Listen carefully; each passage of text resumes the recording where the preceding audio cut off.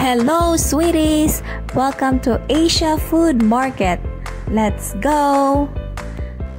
Ang tauge tag $119 by pound. Ang tapad, soybean sprout tag 139.